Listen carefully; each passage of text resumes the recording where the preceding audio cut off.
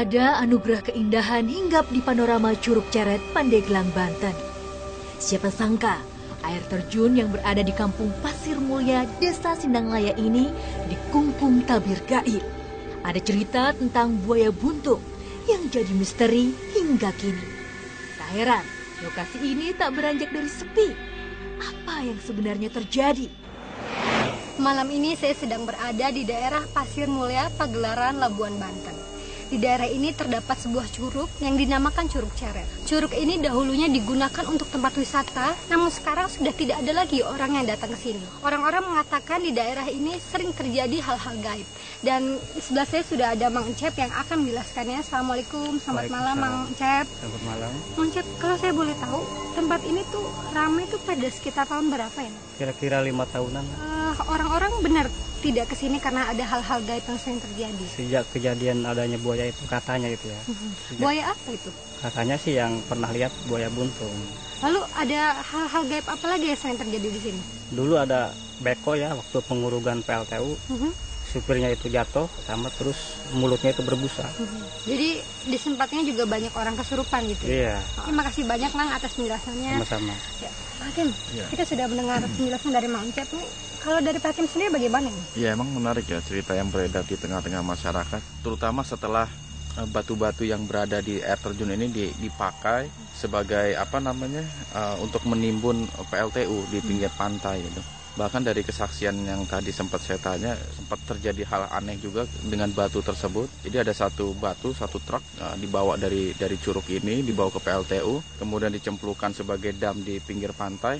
Ternyata batu itu nggak ada yang tenggelam gitu, ngapung semua, sehingga batu itu di- dikembalikan lagi di lokasi ini dan tenggelam di sini. Saya sendiri pengen tahu gitu loh, apa yang membuat mereka tuh setelah diambilnya apa batu-batuan di sini menunjukkan eksistensinya. Karena sebelum batu-batu itu diangkut dibawa dari lokasi sini itu semua adem ayam gitu. Masyarakat banyak yang memanfaatkan eh, lingkungan di sini sebagai tempat wisata, mandi, itu cukup menarik untuk kita ungkap.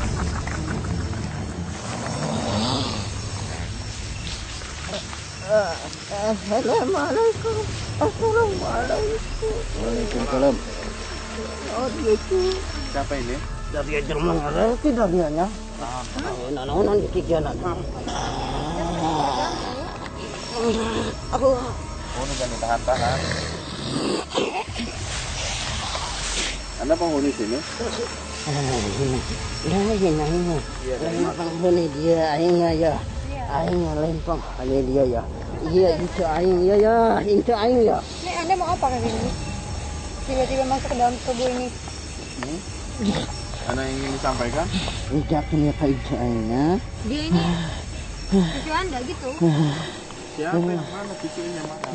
Lain kia carana dari ya. Lain kia. Terus gimana caranya? gimana caranya dong? Anda emang nggak setuju dengan cara-cara seperti ini? Aing tak setuju. Ya, nggak setujunya gimana? Kenapa nggak setuju? Anda kan belum lihat, belum menyaksikan. Dari akan jelma muslim darinya. Dari jelma muslim. Ya. Inan maksudnya kikianan ya. Anda Muslim juga nggak? Aing umat Muhammad aing ya. Oh, berarti kita bersaudara ya? Allah, kau muslimah saudara kami. Inan maksudnya kikianan ha. Ya, jadi begini, saya datang ke sini untuk mengungkap mitos yang ada di lokasi sini. Sering terjadi gangguan-gangguan gaib dari sebangsa Anda, dari sebangsa jin terhadap manusia. Itu yang coba akan saya ungkap. Bener apa enggak? Anda sendiri tahu nggak kalau di sini itu ada siluman buaya? Ayah. Ada berapa? Aneh naga orang ganggu untuk diganggu ceraga. Memangnya banyak orang yang mengganggu dia? Model kia kita ganggu aneh. Kenapa ke- merasa terganggu? Padahal kan alam kita beda. Jadi itu angkat ke atas ya. Tak lama, makhluk ini pamit pergi. Mau dikeluarin? Kita ke atas. Tiba-tiba, sesuatu terjadi. Seseorang berteriak di kejauhan. Suara itu nampaknya datang dari sungai.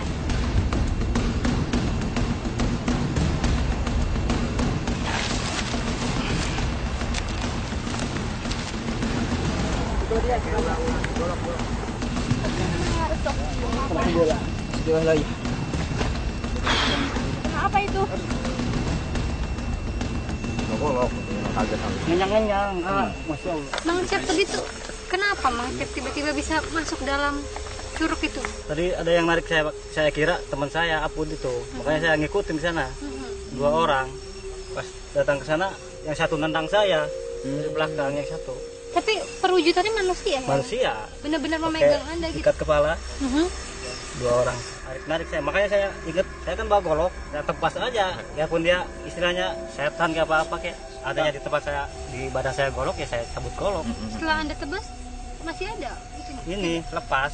Oh tangannya le- dilepas langsung. Dan sosok itu berlari atau ikut e, masuk curug sama Anda? Jarang ke situ, lari ke situ ke, ke apa bambu itu. Hmm, pohon bambu yang seberang kali itu ya. Tapi tadi Anda masih dalam kondisi sadar saat masuk dalam curug ya? Sadar, ya sadar pak. Tapi nggak ada kata-kata yang disampaikan dua orang tadi nggak ya? Cuman kedengaran dikit sama saya itu ya. Hmm. Cuman dia bilang ini katanya biang keladinya. Saya nggak ngerti apa apa maksudnya apa tadi. Tapi sesosoknya emang kayak laki-laki manusia. gitu ya. Tinggi besarnya gitu seperti Pakai manusia. panjang tapi ada pepetnya. Itu makhluk seperti itu suka nampakkan diri di, di sekitar Belum, sini. saya- belum pernah Baru saya. ini ya. Tapi alhamdulillah masih diberi keselamatan ya perlindungan. Semakin penasaran, kami pun melanjutkan mediumisasi. Jangan ke mana-mana, tetap di dua dunia.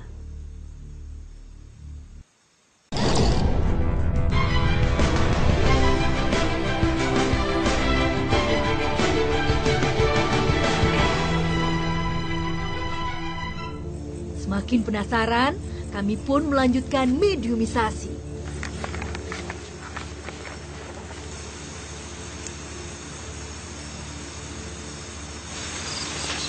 Assalamualaikum.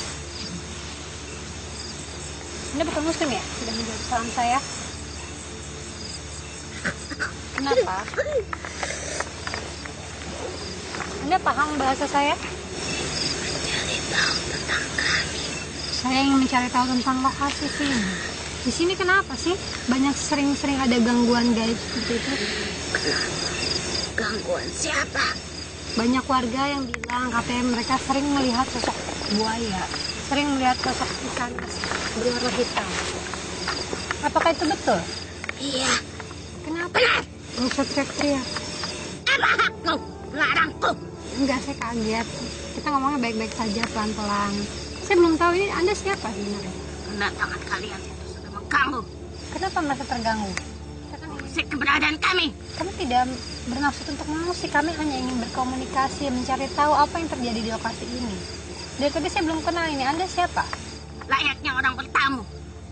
Jika tuan rumah tidak menerima, hak siapa itu? Jadi sebenarnya Anda tidak menerima kedatangan kami di sini? Iya, Kenapa? Emang si ya siapa yang mau bertamu ke tempat Anda siapa? Asalnya seperti ini. Seandainya lokasi ini tidak terjadi gangguan yang dilakukan oleh sebangsa Anda, kami juga nggak akan ke sini. Pak. Kami ke sini itu untuk mencari tahu, karena kami mendengar dari masyarakat setempat bahwa sebangsa Anda sering melakukan gangguan-gangguan terhadap manusia. Asalnya itu karena bangsa Anda sendiri yang mencoba untuk berinteraksi dengan manusia. Sehingga kami datang ke sini untuk mengorek, mencari informasi kebenaran itu.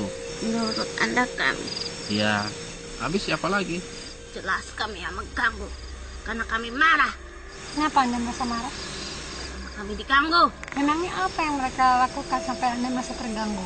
Porak-porandakan tempat kami. Seperti apa maksudnya? Ratakan. Tempat ini bukan yang dijaga ya, karena tempat ini kan tempat wisata di mana orang-orang sering berkunjung. Siapa yang menjaga? Jika ada yang menjaga, tidak akan seperti ini. Jadi Anda merasa terganggunya itu seperti kenapa sih? Kami hidup di sela-sela bebatuan. Itu tempat tinggal kami. Terus? Antara sebangsa yang sudah melakukannya. Melakukan apa? Musik tempat tinggal kami. Musiknya mereka dengan cara seperti apa? Menguruk tanah dan merampas rumah-rumah kami. Jadi batunya diambil. Iya. Emang batunya punya siapa sih?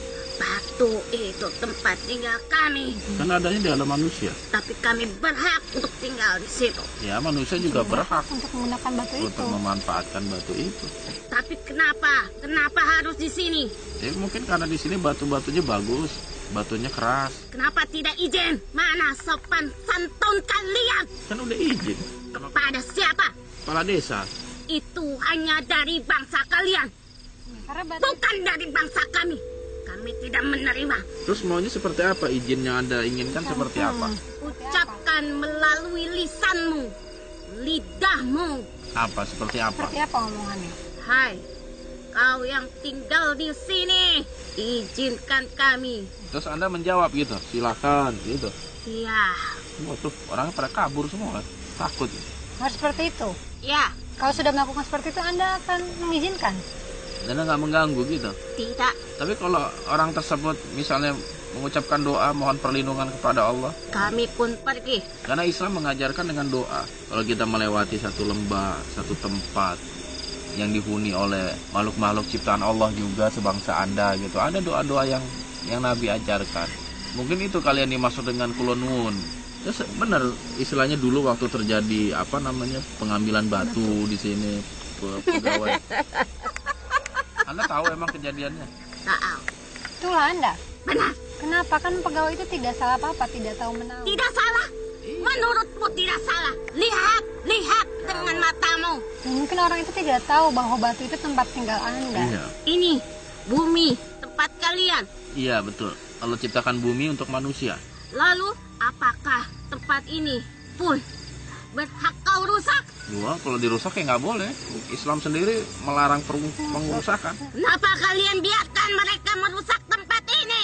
Mungkin maksudnya tidak untuk merusak, tapi untuk Memanfaatkan. memanfaatkannya. Itulah manusia. Kenapa? Karena batu itu dimanfaatkan untuk membuat sarana yang nantinya juga akan bermanfaat untuk manusia. Karena begini, situasi-situasi seperti itu kadang suka dimanfaatkan oleh sebangsa Anda untuk apa namanya melegalkan apa yang Anda lakukan atau untuk membenarkan apa yang Anda lakukan. Kami tidak menggoda, Mengganggu Mengganggu. tapi kami hanya memberi peringatan. peringatan. Jangan semenang-menang Ya mungkin terhadap tempat ini. Karena bukan hanya manusia yang berhak menempati tempat ini. Bangsa kami pun berhak menempati tempat ini. Itu sudah ditentukan sejak dari dulu. Yang tadi Anda bilang memberi peringatan, memberi peringatan seperti apa saja yang suka Anda lakukan? Kami mengganggu sebangsamu, merasuki hatinya, merasuki jasadnya, Kemudian, apa lagi?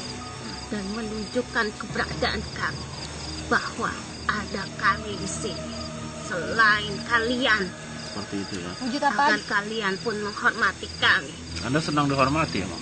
Jelas bukankah kalian juga suka dihormati Enggak juga.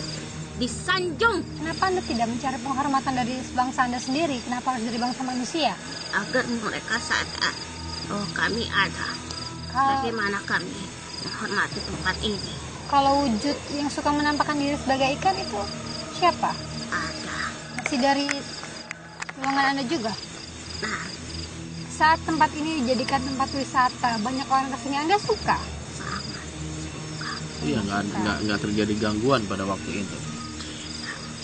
Nah, sekarang Anda melakukan banyak gangguan, masyarakat tidak berani ke sini lagi. Sehingga tempat ini tidak dirawat lagi, tidak dikunjungi lagi. agar mereka tidak datang ke sini lagi untuk menghancurkan tempat ini. Tapi kalau misalnya ada masyarakat yang ingin memanfaatkan air itu, Anda kan tidak mengganggu. kan? Selama yang diperbuat itu memang untuk untuk mengambil airnya, untuk menikmati alam. Tidak akan mengganggu masyarakat di sini. Itu sudah perjanjian kami. Jangan siapa? Tidak perlu kau tahu. Terus kalau orang yang mau wisata misalnya di sini, menikmati indah alam di sini, Anda masih mau mengganggu? Kembalikan tempat ini seperti dulu. Gimana caranya? Oh. Pikirkan bagaimana caranya agar tempat ini menjadi indah kembali. Kalau tempat ini ingin men- menjadi indah, kuncinya Anda jangan mengganggu. Sehingga banyak masyarakat yang memanfaatkan di sini, akhirnya dijaga, dirawat, dan kembali menjadi indah. Bagaimana dengan kejadian tadi? Seperti ada penonton ditarik lalu ditendang masuk ke dalam curug sungai tadi itu benar ulah anda? Ulah siapa itu? Kenapa? Kan tadi penerangan tidak salah apa-apa. Karena dia sudah memberikan keterangan tentang tempat ini. Masa gitu aja? Anda marah. Anda berarti makhluk yang benar-benar nggak bagus. Bukan kedamaian yang Anda cari. Kami selalu damai di sini. Sebelum kalian mengganggu kami. Kalian itu siapa? Saya atau orang-orang yang ngambil batu itu? Orang itu dan kalian. Hei, malah ingin meluruskan. Seperti apa meluruskannya? Menyudutkan kami. Kalian yang berpikir selalu kami yang salah. Sekarang begini, dengarkan kata-kata saya. Saya pengen tahu apa pendapat Anda. Kenapa gangguan di sini sering terjadi? Saya ingin tahu apa alasan Anda. Kalau alasan itu masuk akal dan bukan akal-akalan, mungkin kami juga bisa menginformasikan. Tapi kalau ak- apa namanya alasan Anda akal-akalan semata, ya maafkan kalau kami tidak bisa menyampaikan. Apalagi gangguan-gangguan yang Anda lakukan itu boleh dikata sering. Dan masyarakat sini sangat membutuhkan curug itu. Saya mau tanya ini, dengan anak-anak sekolah yang sering berkemah di sini dan ada yang bilang mereka seperti dimasuki oleh Nah. gaib. Kenapa anak-anak itu kan tidak salah apa-apa? Anak-anak itu tidak salah. Tapi mereka sama. Sama seperti kalian. Mereka adalah manusia.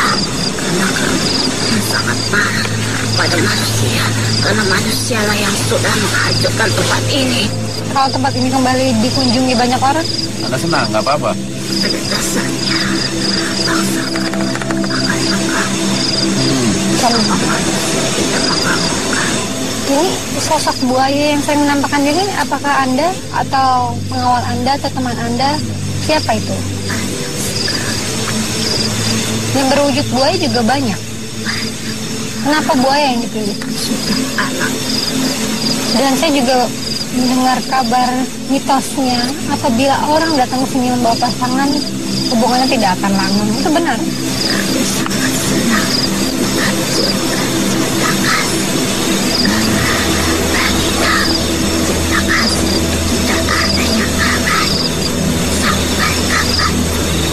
Kayaknya pengalaman hidup Anda itu ya. Memang tidak semua dari kalian bisa kami hasut tempat ini. Terutama bagi para pria Maksudnya apa? tidak ada yang berani bermalam Bermalam di sini. Hah? Tidak kita yang yang Wah, eh Bapak. Akal-akalan Anda aja itu. tidak Nah, dan itu sesuatu yang sangat menyesatkan. Nggak boleh dilakukan itu bisa terbukti. ilmu sesat itu. Tapi intinya seperti itu. Saya nggak menghendaki terjadi gangguan, apalagi dialami oleh masyarakat setempat yang nggak mau dengar ada kabar seperti itu. Dan saya memberikan saran kepada masyarakat sini untuk selalu berdoa ketika memasuki tempat ini agar makhluk-makhluk seperti anda yang biasa mengganggu, insya Allah nggak akan mengganggu. jangan merugikan yang lain Ya, kepentingan yang lain ya. pikirkan bagaimana caranya agar tidak ada yang dirugikan Saya setuju itu. Nggak boleh ada ada kezoliman di tempat ini. Ya saya rasa informasi yang yang kami cari sudah kami dapatkan. Intinya seperti itu. Iya, biar masyarakat sini juga tenang mereka. Sekarang ada kembali ya. Kini saatnya Umi Syuman. Penelusuran di ujung usai. Tapi ada sesuatu yang menarik Umi. Ada apa ini? Tetap di dua dunia.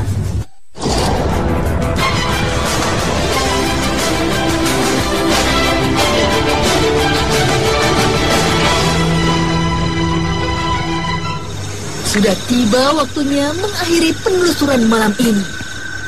Namun, sesuatu terjadi pada Umi.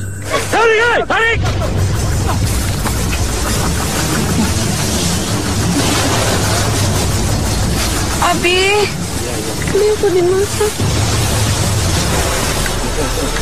Aku tuh pengen tak Aku boleh tidak buat lagi.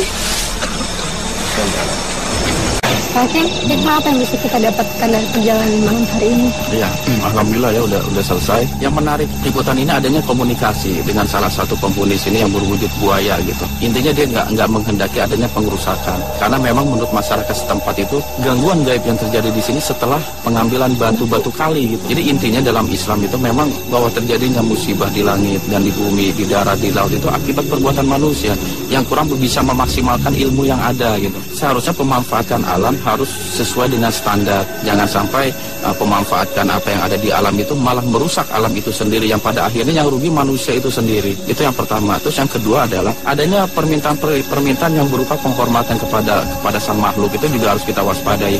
Karena apa? Ketika kita masuk suatu tempat, jangan sekali-sekali kita memohon perlindungan kepada makhluk, tetapi mohon perlindunganlah kepada sang kholik yaitu Allah Subhanahu wa taala. Terima kasih banyak atas Ya. penjelasannya. Sama-sama. bahwa sebangsa Anda sering melakukan gangguan-gangguan terhadap manusia. Kami diganggu. Kenapa tidak izin? Mana sopan santun kalian? Terus maunya seperti apa? Izin yang Anda inginkan seperti apa? Ucapkan melalui lisanmu, lidahmu. Tapi kalau orang tersebut misalnya mengucapkan doa mohon perlindungan kepada Allah, Kami pun pergi.